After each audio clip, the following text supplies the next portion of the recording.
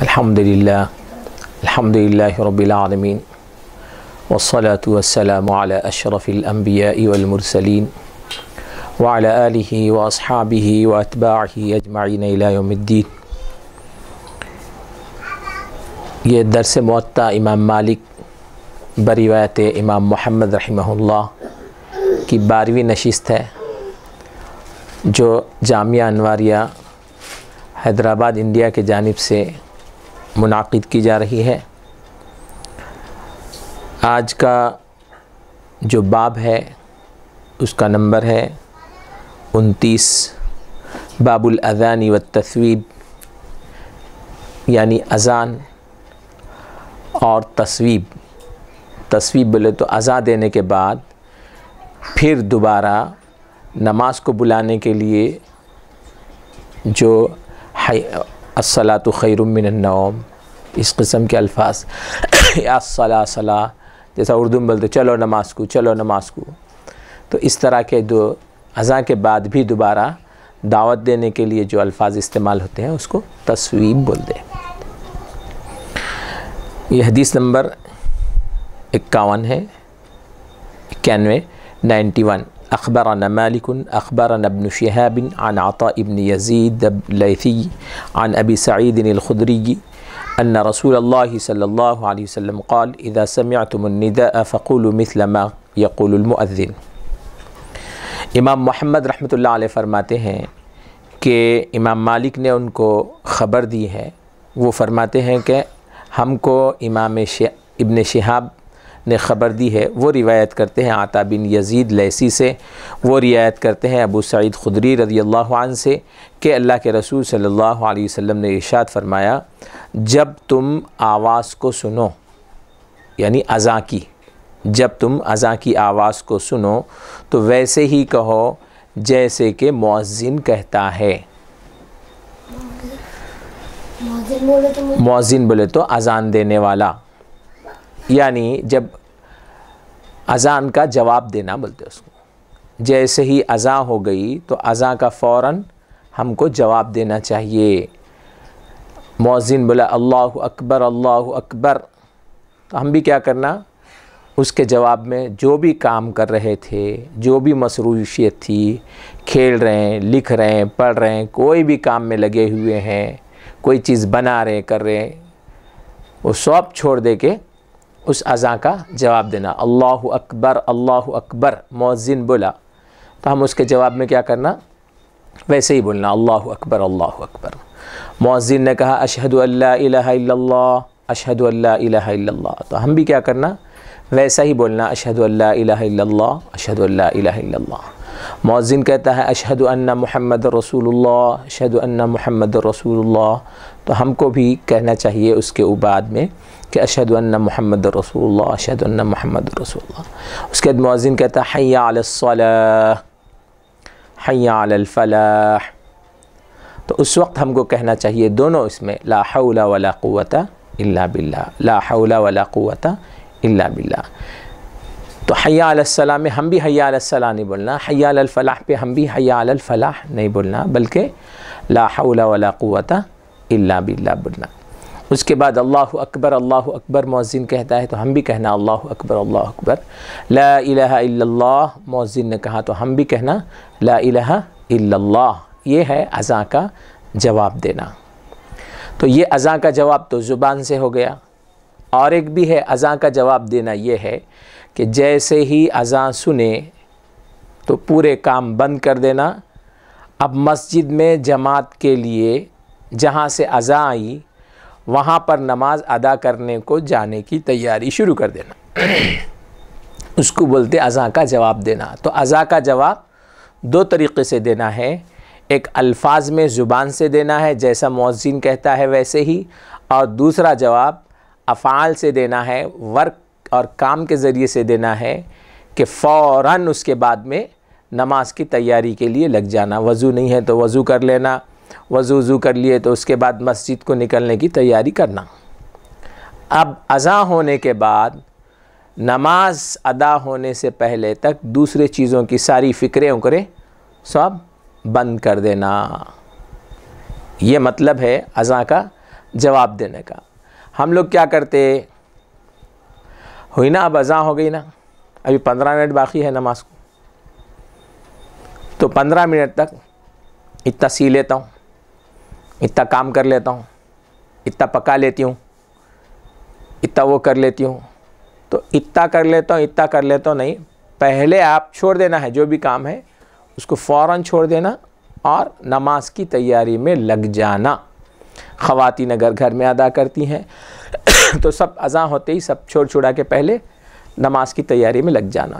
تو نماز کو اتنی اہمیت دینے کی ضرورت ہے۔ حضرت عائشہ صدیقہ رضی اللہ تعالیٰ نے فرماتی ہیں کہ اللہ کے رسول صلی اللہ علیہ وسلم جب گھر میں ہوتے ہمارے پاس تو ہم سب سے مل جل کے باتیں کرتے۔ اور سب ادھر ادھر کی جیسا گھر میں ہوتا تو ویسے ہی بالکل گھر کا ایک فرد بن کے سب کے ساتھ مل جل کے باتیں ہوتی رہتی ہیں اور ہمارے کاموں میں بھی حضور اکرم صلی اللہ علیہ وسلم ہاتھ بٹایا کرتے تھے۔ لیکن جیسے ہی اذاں ہو گئی، تو اس کے بعد ہم کو ایسا محسوس ہوتا تھا کہ ان کا ہم سے کوئی تعلق اور رشتہ ہی نہیں۔ اذاں ہوتے ہی اللہ کے رسول صلی اللہ علیہ وسلم کے مزاج میں بالکل تبدیلی آ جاتی تھی اور وہ گھر کی جو مصروفیتیں تھیں، گھر میں جو کام کاج تھا، وہ سب بند۔ ان کا ہی نہیں، سارے گھر کا بند ہو جانا اور وہ نماز کے لیے چلنا۔ کاروبار بند، سب سب بند ہونا، یہ نماز کی اہمیت کے لیے بتایا گیا ہے۔ اور آپ کو معلوم ہے کہ جیسے ہی اذاں ہو گئی۔ اذاں ہوتے ہی ابلیس اپنے شیطان، اپنے جو فوجی ہیں اس کے اس کے ماتحت کام کرنے والے جو شیاطین ہیں، ہر آدمی کے ساتھ میں وہ شیاطین کو ٹولیوں کے ساتھ لگا دیتا، کسی کے ساتھ چار، کسی کے ساتھ ایک لگا دیتا۔ لگا کے بولتا اذاں ہوتے ہی جو لوگ بھی اذاں کے ساتھ نماز کی تیاری میں لگ گئے، تم لوگ اس کے پیچھے لگ جاؤ۔ کہ اور جو لوگوں کو نماز کی اہمیت ہی نہیں ہے، پڑھنا ہی نہیں ہے، تو ان کو پیچھے تو لگانا ویسٹ ہے، خالی پلی کے۔ تو جو لوگ نماز کا اہتمام کرتے ہیں اور نماز پڑھتے ہیں، جیسے ہی اذاں ہو گئی اور وہ نماز کی تیاری میں لگ جاتے ہیں، تو ان کے پیچھے چار شیاطین لگ جاتے، ایک ساتھ۔ آگے پیچھے دائیں بائیں۔ پورا اس کو گھیرے میں لے لیتے۔ لے کے اب ان کا پہلا مرحلہ کیا رہتا؟ اس کو نماز سے، نماز کو ڈیلے کرو، نماز میں تاخیر کرو۔ ابھی چاہ ہوئی میاں، ابھی تو پندرہ منٹ ہے، ابھی بیس منٹ ہے۔ ایسا کر کے انہوں اس کو کیا کرنا لگاتے؟ دیر کرنے لگاتے، تاکہ اس کی نماز جماعت سے مسجد میں ادا نہ ہو سکے۔ اب اس کے بعد میں دیر ہو گئی، انہوں ادھر ادھر باتوں میں منتخا منتخا مار لیتے بیٹھے۔ اس کے بعد میں پہنچے مسجد کو۔ تو ارے، جماعت کا ٹائم ہو گیا۔ ہو گئی جماعت۔ یا تو ایک رکعت چلا چلے جاتی، نہیں تو جماعت ہو جاتی، نہیں تو انہوں اب ہو گئی نا مسجد میں جماعت، یہیں پڑھ لیتا ہوں۔ اس قسم کے چیزیں ہو جاتے۔ تو پہلا اسٹیپ دوسرا اسٹیپ وہ لوگ کیا کرتے؟ دوسرا اسٹیپ یہ رہتا کہ نماز کو اب انہوں آگے۔ وقت پہ اذان شروع ہوتے ہی نماز کی تیاری کر کے مسجد کو پہنچ گئے۔ تو اب اس کو نماز کے اندر خلل ڈالنا۔ کیسا خلل ڈالنا؟ انہیں صحیح سجدہ نہیں کرنا، صحیح رکو نہیں کرنا، صحیح قرات نہیں کرنا، صحیح قرآن نہیں پڑھنا، صحیح تسبیحات نہیں پڑھنا۔ یہ کرو بولتا۔ سیکنڈ اب اس کے بعد میں اگر آدمی اس کی طرف بھی توجہ کرتے ہوئے سب چیزیں صحیح ڈھنگ سے کر دیا، مسجد کو جا رہے ہیں، صحیح ڈھنگ کا لباس پہن کے جانا، ٹوپی صحیح جیسا پہن، ٹوپی، کرتا، پاجامہ، سمجھ میں آیا؟ اور داڑھی ہے تو داڑھی بھی صحیح ڈھنگ کی رکھ کے جانا۔ یہ سب کیا ہے؟ گویا آپ دیکھتے ہوں گے، ملٹری وغیرہ رہتی تو ان کا ایک ڈریس رہتا۔ اسکولہ بھی رہتے تو ان کا بھی ایک ڈریس رہتا۔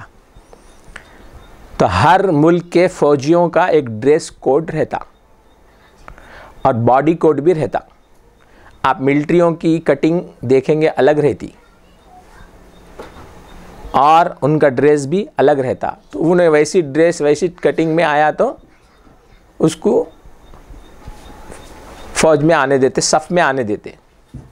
تو نماز بھی کیا ہے؟ جو لوگ نمازی ہیں، یہ اللہ کے فوجی ہیں۔ تو اللہ تعالیٰ نے جیسا ان کے لیے ڈریس کوڈ متعین کیا ہے، ویسا ہی ڈریس پہن کے آنا۔ جیسا چہرہ بنا کے آؤ، بولا اللہ تعالیٰ، ویسا ہی چہرہ بنا کے آنا۔ اب بعض ملٹری فوجیوں کے اس میں کیا ہے، داڑھی نہیں رکھنا بول کے وہاں داڑھی رکھ کے گئے تو لیتے، نہیں لیتے۔ کیوں بھائی؟ ہمارا جو وہ ہے، وہ یہاں پہ نہیں چڑھ رہا۔ جب پہلے داڑھی کٹا کے آؤ بولتے۔ آپ اللہ کے فوجی ہیں تو اللہ کے فوجی کی کیسی شرح کیسا چہرہ ہونا ہے؟ داڑھی ہونا ہے۔ جیسی سنت داڑھی ہونا ڈریس کوڈ بولتے۔ ویسا ہی چہرہ بنا کے آؤ۔ بال کے بارے میں بھی ہمارے پاس مسجد میں آ رہے ہیں۔ تو سر کے بال کی کٹنگ کیسی رہنا؟ یا تو حضور کے جیسے بال رہتے تھے، یہاں تک کان تک یا لمی جمی۔ یہاں تک رہتے تھے، نہیں تو یہاں تک رہتے تھے، ویسے رہنا۔ یا نہیں، تو آپ بال کاٹے تو پورے بال ایک سرا ایک طریقے کے رہنا۔ یا نہیں تو کم بھی کرے تو پورے ایک ٹائپ ایک برابر کم رہنا۔ کہیں کم، کہیں زیادہ، یہ نہیں۔ تو بال کا ایک کاٹنے کا ایک طریقہ ہے، وہی طریقے سے بال کٹے ہوئے رہنا۔ اور مسجد میں آنے کے لیے جیسا لباس کی ضرورت ہے، ویسی چ رہنا۔ کیسا لباس ہونا، بولے۔ جسم کو چھپانے والا لباس رہنا اور مرد کا ٹخنے سے اوپر لباس رہنا اور جو کلر کے کپڑے خواتین پہنتی ہیں، ڈارک، وہ کپڑے نہیں پہننا اور ریشم وغیرہ کے جو کپڑے ہیں، وہ نہیں پہننا۔ تو ایسا کچھ ڈریس کوڈ ہے نمازی کے لیے۔ تو آپ اللہ کے فوجی ہیں، تو آپ کا ڈریس کیسا رہنا؟ اللہ کے فوجی کے جیسی رہنا۔ فوجی اللہ کے ہیں اور ڈریس پورا چہرہ کیسا ہے بولے تو شیطان کے فوجیوں کے جیسا۔ ڈریس کیسا پہنے ہوئے ہیں بولے تو شیطان کے فوجیوں کے جیسا۔ پورا تکبرہ، متکبرانہ ڈریس پہنے ہوئے ہیں۔ اور جو غیر مسلم کا کلچر ہے، غیر مسلم جیسے ڈریس پہنتے ہیں، ویسا پہن کے آپ جو ہے سو اللہ کی فوج میں شامل ہونے کو آ رہے ہیں۔ تو آپ کی انٹری نہیں ہوتی اس میں۔ شیطان پہلے گھیر لیتا۔ تو اس لیے کیا کرو بول رہے انہوں؟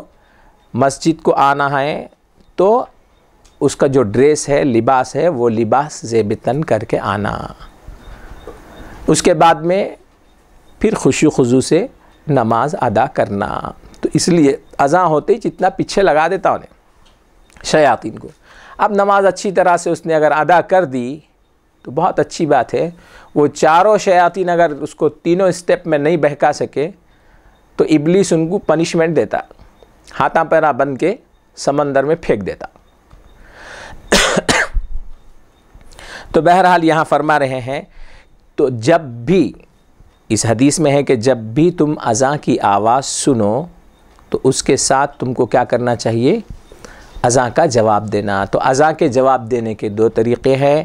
ایک تو زبان سے جواب دینا، مؤذن جیسا بولتا ویسے ہم بولنا اللہ اکبر۔ اللہ اکبر، تو ہم بھی اللہ اکبر اللہ اکبر بولنا۔ البتہ حیا علی الصلاح، حیا علی الفلاح پہ دونوں اس میں حیا علی الصلاح، حیا علی الفلاح بولنے کے بجائے لا حول ولا قوت الا باللہ، لا حول ولا قوت الا باللہ بولنا۔ اور فجر میں جو الصلاۃ خیر من النوم بولتے ہیں، تو اس وقت ہم کو کیا جواب دینا ہے؟ صدقتا و بررتا اے مؤذن، تو نے صحیح کہا ہے اور تو اپنی ذمہ داری سے بری ہو گیا ہے۔ تو یہ کہنا چاہیے تو ہو گئی یہ حدیث ختم۔ اب یہ